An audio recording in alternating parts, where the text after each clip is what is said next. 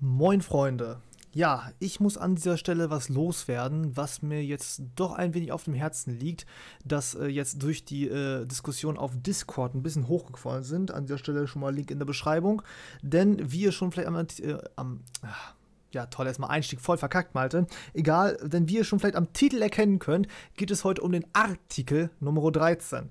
Ja, denn der hat tatsächlich jetzt wieder einige Diskussionen verursacht und dementsprechend wollte ich dann, ja, das heute mal nutzen, um so ein bisschen als vielleicht auch Paradebeispiel dafür, dass das hier dient, wofür dieser Kanal stehen kann, wofür er dienen kann. Nämlich so ein bisschen um Aufklärung zu betreiben. Nicht um politisch, das, äh, um euch politisch zu beeinflussen, sondern tatsächlich vor allem dahingehend erstmal dass ihr euch darüber ein vernünftiges Meinungsbild machen kann. Denn das ist gerade das, woran es mich wieder, zumindest aus meinen Eindrücken, was ich jetzt so an Videos gesehen habe, was jetzt da die letzten zwei Tage rumkam, doch ein äh, bisschen, ja, wieder fragwürdig war. Also wie das da so mit, ja, der politischen Willensbildung der Zuschauer steht. Ich versuche mich so kurz wie möglich bei Way zu halten, aber ich weiß nicht, wie schnell ich das schaffe. Das Thema ist doch ein bisschen komplexer, deswegen fangen wir einfach gleich mal an und erklären erstmal, was ist denn dieser Artikel 13, dieser ominöse Artikel 13, um den es jetzt geht, wo sich jetzt die YouTube-Welt so ein bisschen drüber und drumrum überschlägt. Es geht vom Prinzip im Artikel 13 vor allem darum, dass äh, man halt versucht zuzusehen, dass man ähm, die Sachfrage klärt, wie es um die Schuldzuweisung steht äh, bei Urheberrechtsverletzungen. Denn momentan ist es tatsächlich so geregelt, um darauf mal ganz kurz zu sprechen zu kommen, dass wenn ich mich jetzt hinstelle und eine Urheberrechtsverletzung begehe, dass ich dann derjenige bin, der quasi angezeigt wird, also als Nutzer der Plattform bzw. der Herausgeber des Videos. So, Artikel 13 sieht jetzt aber vor, dafür dann stattdessen nämlich ähm, ja, die Konzerne haftbar zu machen, also die Plattform haftbar zu machen, auf dem dieser ganze Urheberrechtsmissbrauch, diese Urheberrechtsverletzung geschieht. So, und genau, dieser Artikel 13, also verfasst von der EU, ist momentan, soweit ich weiß, noch nicht endgültig durch er ist tatsächlich momentan irgendwo zwischen den Instanzen am Hin- und Herschwingen. Ich bin mir jetzt nicht ganz sicher, wo er gerade ist. Wenn das jemand von euch gerade weiß, dann, dann haut es nochmal in den Kommentar rein. Auf jeden Fall steht er momentan halt zur Debatte. So, und ähm, genau, tatsächlich ist es dann nämlich so, dass ähm, ja aufgrund dieses Artikel 13 nämlich es dann ja so sein kann, dass tatsächlich halt ja, ähm, diese jeweiligen Plattformen für die Urheberrechtsverletzung dann haftbar gemacht werden würden, also unter anderem auch YouTube. So, und jetzt hatte die YouTube-Chefin vor ein paar Tagen ihren mordlichen Brief herausgegeben. Sie hat nur so, so einen Brief, soweit ich gehört habe. Der hat sie herausgegeben und da stand dann, ja, inhaltsmäßig ungefähr sowas drin. Ich zitiere jetzt nicht, ich gebe grob wieder, dass es tatsächlich vielleicht darauf hinauslaufen könnte, dass man zumindest als YouTube selbst mit den Gedanken spielen würde, vielleicht tatsächlich da sich etwas anderes zu überlegen. Also YouTube vielleicht in der EU ja tatsächlich, sie drohen damit, es zu schließen, um es kurz zu machen. Ne? So, klingt jetzt erstmal natürlich brutal hart, machen wir erstmal weiter. Ähm, an dieser Stelle hat tatsächlich also dieses, ähm, ja, diese Drohung de, des Konzerns, ne, also von YouTube, unserer guten alten Plattform selbst, hat dann zum Beispiel, haben so YouTuber aufgegriffen, wie zum Beispiel gute Wissenswert und hat das dann so verpackt, beziehungsweise so klingen lassen, als würde dadurch halt jetzt dieser Artikel 13 tatsächlich die Existenz von YouTube bedrohen, also quasi auch die Existenz von diesem Kanal, beziehungsweise euren ganzen Lieblingskanälen. Weil es ja dann sein könnte, dass YouTube sich Europa zurückzieht. So, und äh, an dieser Stelle muss ich dann nämlich mal dann auf jeden Fall ganz kurz einhaken. Denn vom Prinzip her ist es nämlich nicht so, dass YouTube sich einfach dahinstellen kann und sagen kann, wir schließen jetzt mal eben für Europa halt äh, YouTube selbst. Denn ähm, tatsächlich ist es nämlich so, dass das Ganze, was momentan ist, mehr eine Drohgebärde von Seiten YouTubes gegenüber, äh, ja, tatsächlich äh, der EU ist, beziehungsweise vor allem dafür sorgen soll, dass ähm, ja, wir, die YouTuber, instrumentalisiert werden, so ein bisschen, um auf jeden Fall ähm, ja, euch zu beeinflussen, Stimmung zu machen gegen diesen Artikel 13.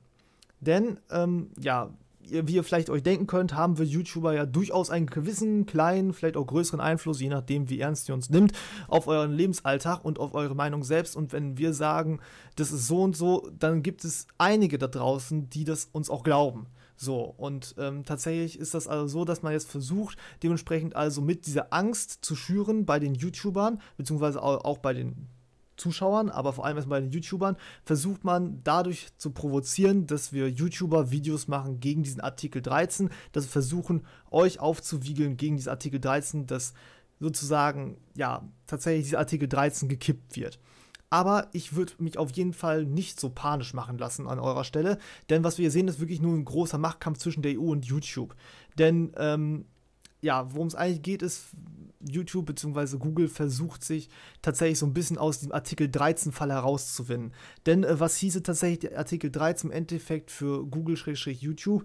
Dass sie tatsächlich drüber nachdenken müssen, nicht nur einen Upload-Filter rein zu, äh, also so ähm, einzubringen, einen noch besseren, einen, der tatsächlich mehr filtert, was natürlich mit Kosten verbunden ist, sondern tatsächlich halt auch diese Gerichtsprozesse zu führen. Das müssten sie jetzt demnächst mit einplanen und einkalkulieren, was dann natürlich ein ordentlicher Kostenpunkt wäre, den Google-YouTube natürlich schaut. So, und da versuchen sie sich jetzt gerade so ein bisschen mit Händen und Füßen dagegen zu wehren, um da irgendwie aus der Schlinge, möchte ich mal sagen, rauszukommen und dementsprechend also tatsächlich über euch, also über uns und dann über euch im nächsten Schritt sozusagen dieses Gesetz dann ja zu kippen. Und ähm, dementsprechend also, ja, ähm, habe ich jetzt ein bisschen sogar den Faden verloren.